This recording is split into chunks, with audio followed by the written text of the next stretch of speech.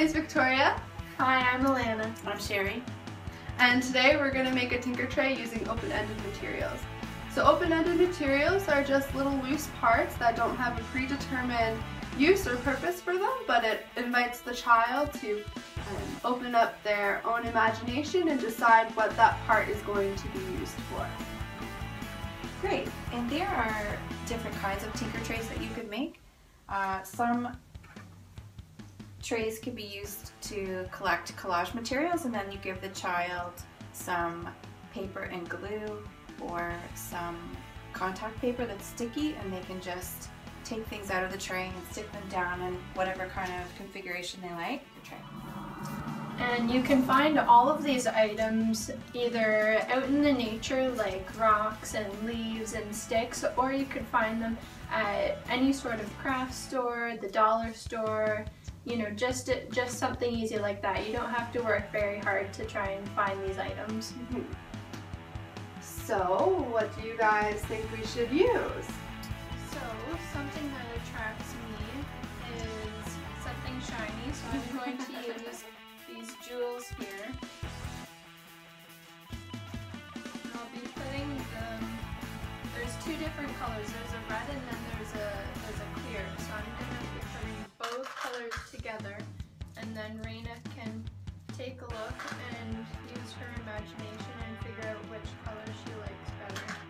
I'm going to choose some toothpicks and straws. I'd like to see if uh, Dana uh, would like to experiment with sticking them into the styrofoam and see if she comes up with some.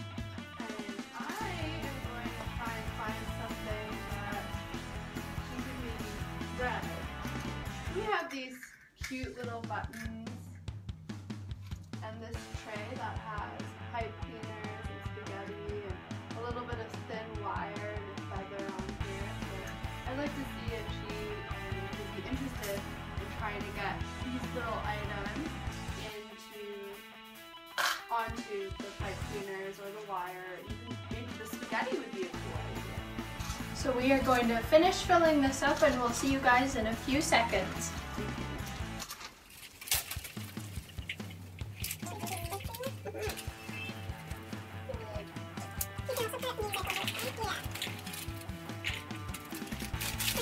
So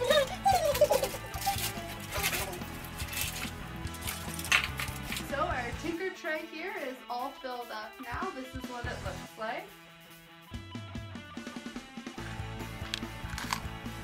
You can see that. There's lots of cool little things in there.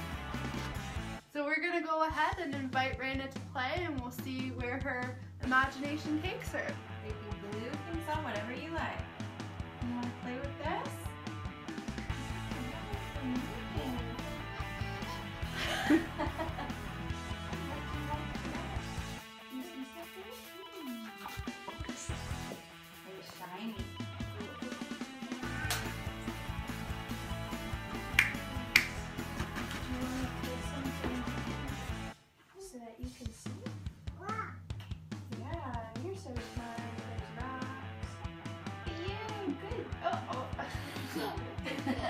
Glue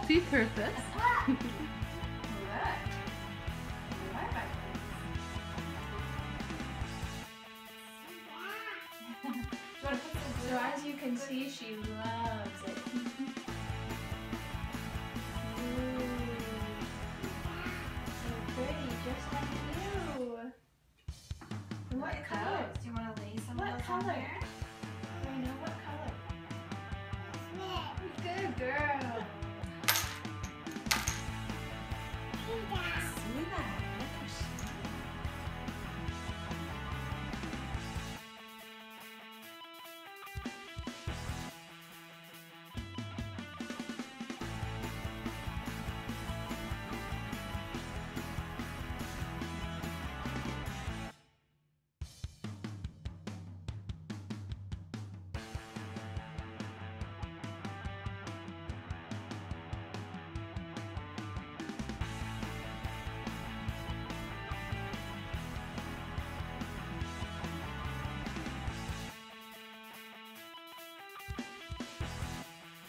Tutorial on how to make a tinker tray and how to interact with the child while they're playing with the tinker tray. And as you can see, it's for this age group, it's very much about the sensory. So she's touching and feeling all the different textures. A couple of times she said shiny or soft. So she's also using sight and you hear her say, heard that, referring to the noise that the materials are using. So at this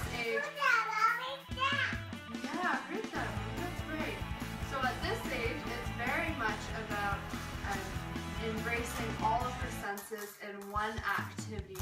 As toddlers love to have their whole body and whole being in doing whatever it is that they're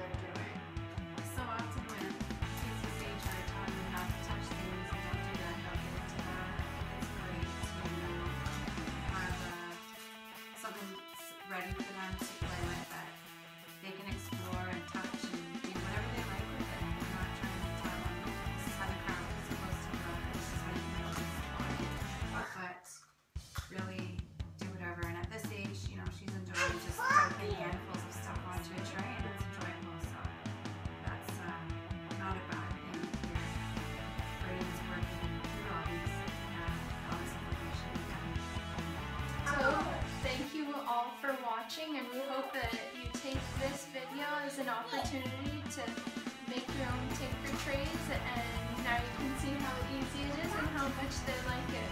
Thanks for watching.